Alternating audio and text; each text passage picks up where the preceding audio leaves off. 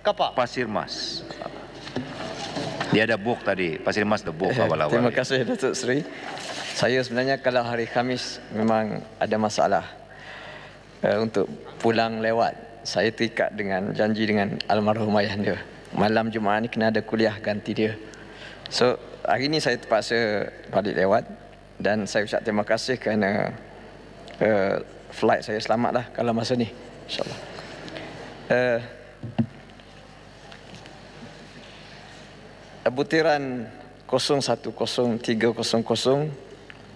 Institut Penyelidikan Pembangunan Belia Malaysia IYRES Kementerian Belia dan Sukan bagi saya amat rapat dengan Kementerian Pendidikan. Belia merupakan tunjang kepada pembangunan negara. Anak-anak kita yang dididik di sekolah mestilah memperolehi pendidikan yang sama dan tidak bertentangan di luar sekolah jika mereka telah tamat proses pendidikan formal, maka adalah penting pendidikan itu tidak terputus secara mengejut kerana suasana dan persekitaran di luar yang jauh berbeza daripada persekitaran di sekolah. Justru Kementerian Belia mestilah merangka dasar yang bersifat menyambung dan beriringan dengan apa yang dirangka oleh Kementerian Pendidikan. Dasar dan polisi mestilah diformulasi supaya menepati kehendak dan hala tuju yang benar-benar memberi impak kepada pembangunan belia di negara ini. Seterusnya menjamin kelestarian pembangunan negara secara amnya. Apa yang saya ingin kemukakan adalah kekagetan saya berkaitan sudut putih dan hitam pembinaan remaja kita. Dari satu sudut, kita rasa amat gembira dengan kejayaan demi kejayaan. Tetapi dari sudut yang lain, kita masih ketakutan terhadap perkembangan pembangunan belia kita yang mungkin menghalang wawasan besar kita untuk kejayaan mereka pada masa hadapan.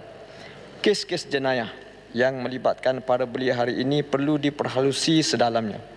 Sepanjang 2012 hingga 2015, 14,000 kes buli dicatatkan.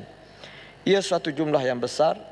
Kes buli adalah petanda penting hilangnya akhlak yang subur yang harus tumbuh secara harmoni di dalam jiwa belia kita. Kajian Kesihatan dan Mobiliti Kebangsaan 2015 pula menunjukkan 29.2% iaitu 4.2 juta di kalangan mereka yang berumur 16 tahun ke atas mengalami masalah mental. Masalah mental ini pula adalah petanda penting hilangnya kekuatan dan jati diri dalam diri remaja dan belia kita di dalam menghadapi cabaran kehidupan hari ini yang begitu mencabar. Dua petanda negatif ini pastinya akan merencatkan pembangunan yang sepatutnya diterapkan kepada para belia di negara kita ini. Kita boleh membayangkan jika kita gagal mengatasinya dengan segera dan dengan baik, maka isu-isu gejala sosial yang menimpa kehidupan sebahagian belia kita yang seolah-olah hanya datang untuk meruntuhkan kembali kejayaan yang telah kita bina akan terus berlaku dan tidak diketahui hujungnya. Saya mengajak kementerian supaya menjadikan pendidikan agama dalam setiap program dan polisi yang dijalankan oleh pihak kerajaan. Inilah jati diri yang kukuh yang perlu diterapkan kepada mereka, tidak membiarkan mereka terbuai dengan perkara yang merosakkan masa depan mereka. Biarlah peruntukan yang disediakan kepada kementerian dapat digunakan sebaiknya ke arah memberi penawar dan kekuatan kepada pembangunan belia kita. Itu uh, cadangan daripada saya.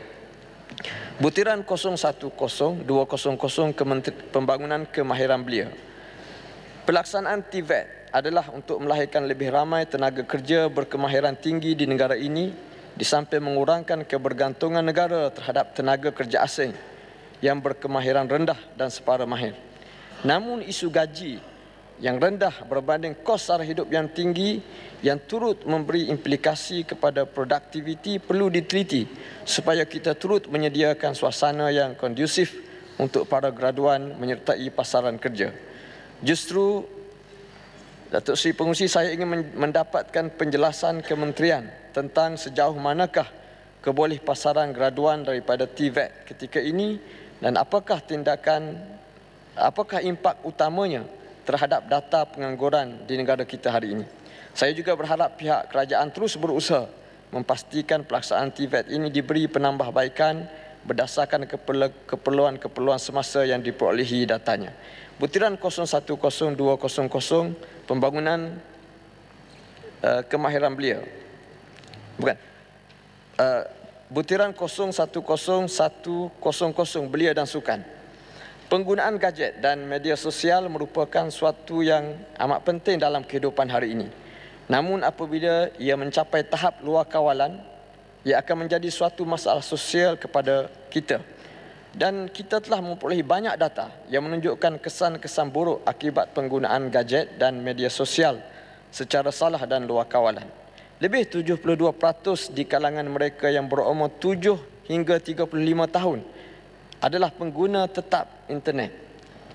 Ini menunjukkan signifikannya pembangunan teknologi media sosial kepada golongan belia hari ini. Walau bagaimanapun, suatu statistik turut menunjukkan mereka yang berumur di bawah 18 tahun melayari internet lebih kurang 6 jam sehari.